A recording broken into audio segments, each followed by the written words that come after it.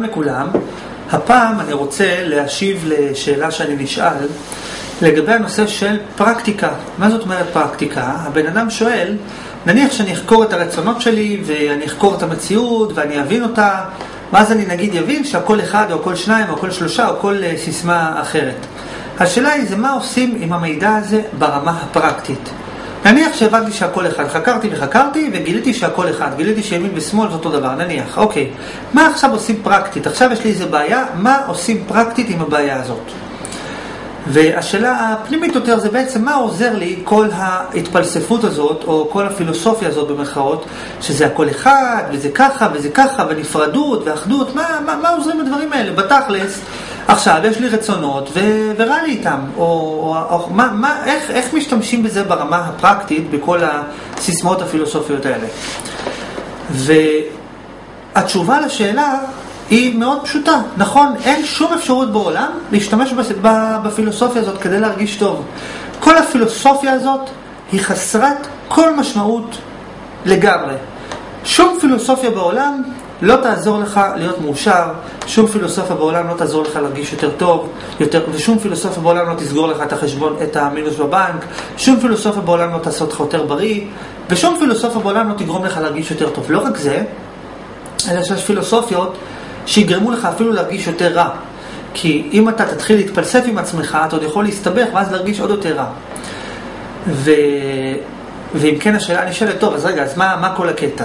והתשובה היא יותר פשוטה ממה שנדמה.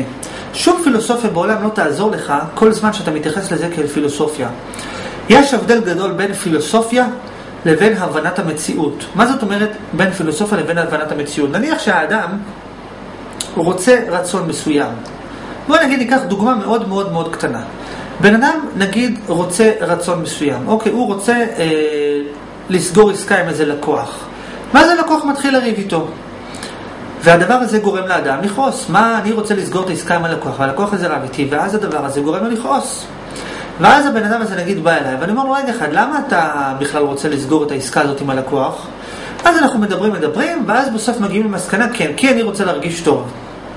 ואז עכשיו הוא שואל, רגע אחד, אבל איך הפילוסופיה הזאת שהבנתי שאני רוצה להרגיש טוב, איך זה עכשיו פתר לי את הבעיה מול הלקוח? איך זה עכשיו פתר לי את הבעיה המינוס הבנק? והתשובה היא די פשוטה. אה, אם אתה מתייחס להבנות שלך כאל פילוסופיה, אז ממילא אה, באמת הן לא יכולות לעזור לך. אבל הנקודה היא פשוטה. אם ההבנות שלך היו אמיתיות, אתה גם היית חווה אותן. מה זאת אומרת גם היית חווה אותן? כי כאשר אתה רוצה לסגור עסקה עם הלקוח, כאשר יש לך רצון מאוד מסוים, אם באמת השכל שלך, אם לא היית מטומטם ולא היית רק אומר שאתה חכם ופילוסוף, אלא באמת היית חכם, אז כאשר היית עושה כל פעולה ופעולה וכל רצון ורצון שלך, היית מודע לכך, מודע לשורש שלו. מה זאת אומרת? טיפש עושה פעולה בלי, בלי לדעת למה הוא בכלל עושה אותה. החכם לעומת זאת עושה פעולה והוא יודע למה הוא עושה אותה. אתה עושה, נגיד לדוגמה בן אדם יוצא לדרך.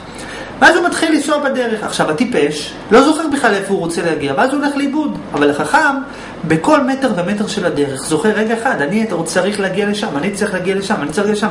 הוא תמיד זוכר את המטרה הסופית. עכשיו, בואו נגיד ניקח את האדם שמתווכח איתו לקוח.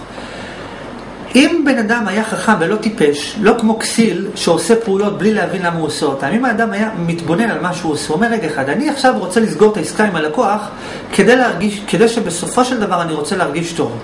עכשיו, הלקוח הזה כרגע רב איתי, ואם אני אה, אכעס עליו, אז אני בעצם מרגיש פחות טוב, אני בעצם משיג, המת... אני בעצם משיג מטרה סופית הפוכה מהמטרה שאותה אני רוצה להשיג, כי אני רוצה בסופו של דבר להרגיש טוב.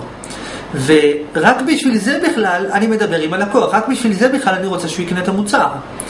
אז אם כרגע הוא רב איתי, ההיגיון אומר שאני לא אכעס עליו.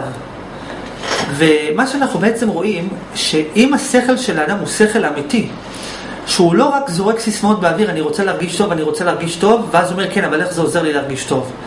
אלא האדם, השכל שלו קצת יותר גדול, והוא גם כן מקשר את ההתחלה לפעולה הסופית. זאת אומרת, אתה הבנת שאתה רוצה להרגיש טוב, יפה מאוד. עכשיו, בכל פעולה ופעולה שאתה עושה, אתה מרים את היד, תגיד כי אני רוצה להרגיש טוב. אתה הולך לאכול כי אני רוצה להרגיש טוב. אתה רוצה לעשות משהו מסוים, תגיד כי אני רוצה להרגיש טוב. מה זה ייתן לך?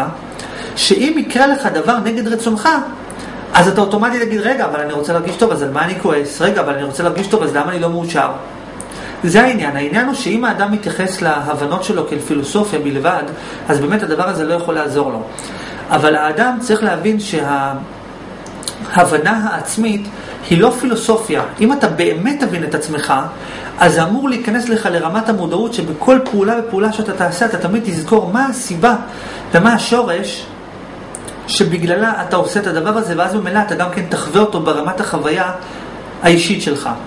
ואני אחדד יותר מזה, כפי שכבר אמרתי, מי שיחקור את הרצונות שלו ואת המציאות ואת כל שאר הדברים שקיימים, מי שיחקור אותם לשורשו, בסוף הוא יגיע לאחדות. ושאני, וכשאני אומר שבן אדם מגיע לאחדות, זה לא סיסמה, זה לא שהוא יגיד, טוב, זה אחדות. הכוונה היא שאדם יחווה את זה, כי בכל דבר ודבר שהוא עושה, כאשר הוא רוצה רצון מסוים, הוא מודע ברמת המודעות שלו, לא ברמת התת-מודע, ברמת המודעות היומיומית שלו, הוא מודע לחיבור של הנפרדות והאחדות. מה זאת אומרת? הוא מודע לכך שלמרות שזה טוב וזה רע, ולמרות שאני רוצה את זה ולא רוצה את זה, אף על פי כן, בדיוק כמו שאני יודע שאני רוצה את זה ולא רוצה את זה, בדיוק באותו מידה אני יודע שזה לא משנה אם זה זה או זה. עכשיו, זה לא סיסמה. לא מדובר פה על סיסמה. מדובר פה על עניין שהבן אדם מתבונן והשכל שלו נהיה יותר גדול, ומה זאת אומרת נהיה יותר גדול? השכל כבר גדול, הוא רק משתמש בפוטנציאל השכלי שלו, ואז כאשר אדם שיש לו שכל ומגיע לשורש של הרצון, כאשר הוא רוצה דבר מסוים, תוך כדי שהוא רוצה את הדבר הזה, הוא מודע בידיעה שלמה וברורה שלמרות שאני רוצה את זה ולא רוצה את זה, אף על פי כן אין הבדל בין זה לזה. וכאשר האדם משתמש בשכל שלו בצורה אמיתית, אז ממילא הוא חווה את המציאות בצורה, בצורה שבה הוא מבין. והצרה מתחילה כאשר האדם לא מברר דברים עד הסוף. כי אם היה ברור לאדם כשמש בצהריים, ברמה של מחויב המציאות, ברמה שלא יכול להיות אחרת, היה ברור לו שלמרות שזה טוב וזה רע, אף על פי כן שניהם ישות אחת, ממש, וזה היה ברור לו במחויבות שאין אפשרות לחשוב אחרת, אז ממילא הוא היה חווה את זה. הצרה מתחילה שהאדם יש לו אמונות.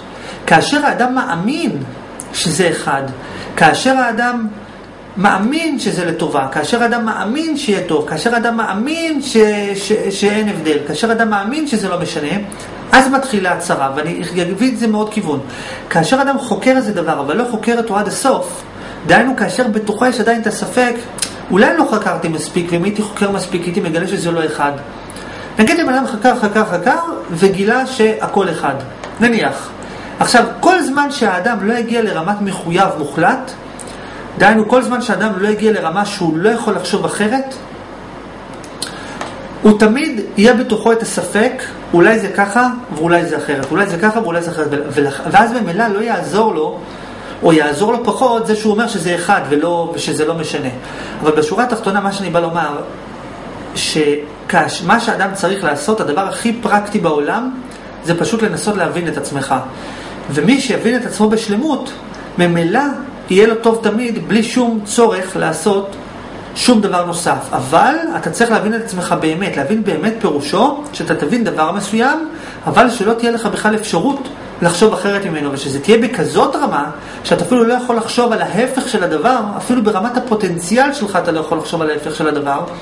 כאשר זה יהיה בכזאת רמה, אז ממילא האדם גם כן יחווה באופן אישי את מה שהוא יודע, ואז החיים שלו יהיו אחרים לגמרי. ושיהיה לכולם המשך יום של חוויית הידיעה מתוך זה שהיא אמיתית. תודה.